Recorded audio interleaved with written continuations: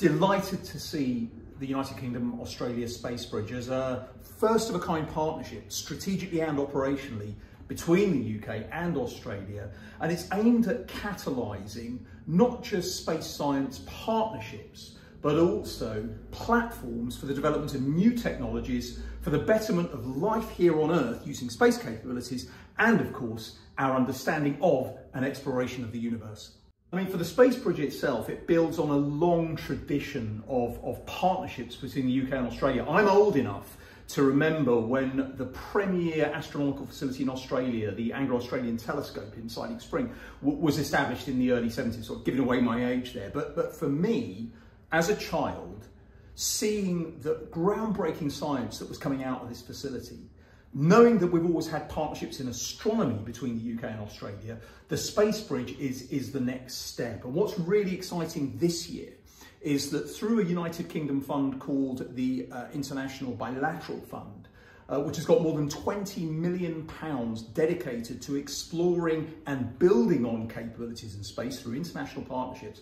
I'm delighted that more than a third of the successful recipients of the first round of funding were from institutions in the United Kingdom working with their Australian counterparts and crucially, not just working government institution to government institution or university to university, but also bringing on board established and what we call new space Australian companies. Because really, if we want to progress with world-class science and world-class capabilities, we've got to tap into new, disruptive and emerging technologies that are there and increasingly are being championed by what we call these new space companies. Very small, very agile, often more risk-taking than the established companies. And so when we look at the portfolio of projects that have been funded from Australia, I'm delighted that we've seen a full swathe of academic institutions and also a full swathe of space companies, from the small to the large, from the strongly, firmly established to the new space, new kids on the block.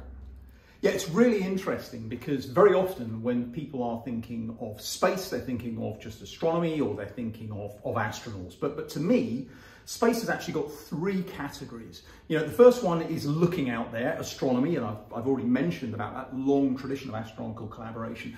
The second part is, is going out there. So this is exploration, not just with our robotic systems, but with our human-tended systems as well. And of course, Australia has had a long tradition of human spaceflight. We had, we had Paul Scully Power flying in, I think in 1984 as an oceanographer. In the late 1990s, we had Andy Thomas being selected as an astronaut who, who was critical in, in, in, the early stages of the International Space Station.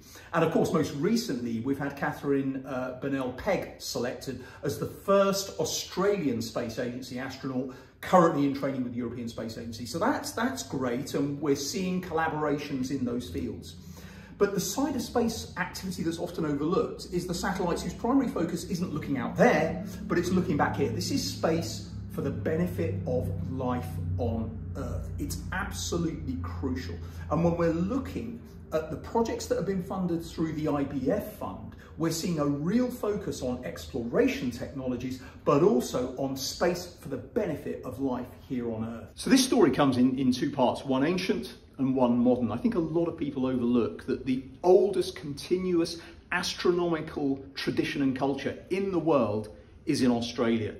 Tens of thousands of years ago, when First Nations and Torres Strait Islanders came to Australia, the reason they were able to cover the entire continent was through a deep understanding of the sky and the way to navigate. And what I find amazing is when you look at the, the First Nations mythologies of what they saw in the night sky with this beautiful view in the southern hemisphere, looking towards the heart of the galaxy. They're truly awe-inspiring. But wind forward tens of thousands of years, and I want to introduce this. This is a meteorite that fell in Northwest Africa, but it's actually a piece of the planet Mars. And we know that because since 1976, we've had robotic spacecraft on the surface of Mars measuring the chemical composition, measuring atmospheric constituents, etc. And by comparing those results to this rock, we know that this was blasted off the surface of Mars tens of thousands of years ago, probably millions of years ago. Now, that's awe-inspiring to me.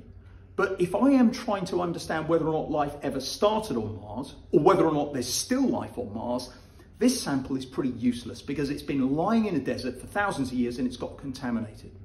But right now, there is a NASA rover called Perseverance, and it's trundling over the surface of a part of Mars, Jezero crater, and part of its job is to cache dozens of rock samples in pristine, isolated tubes, and they're going to be brought back to the Earth for analysis at the end of this decade. If we're ever going to understand whether or not life existed on Mars, it's because of these Perseverance samples. And I'm delighted that the first ever female principal investigator for any Mars mission was actually an Australian. It's Dr. Abigail Allwood. She's a PI for the Perseverance mission. And to me, this closes the circle of tens of thousands of years of Australian science, going back from ancient traditions to modern cutting edge technologies. And in conclusion, you know, from the United Kingdom perspective, we are absolutely delighted to be partnering with Australia, not just on exploration science, not just on astronomy, but also for that crucial element using space technologies and capabilities from space to safeguard life here on Earth.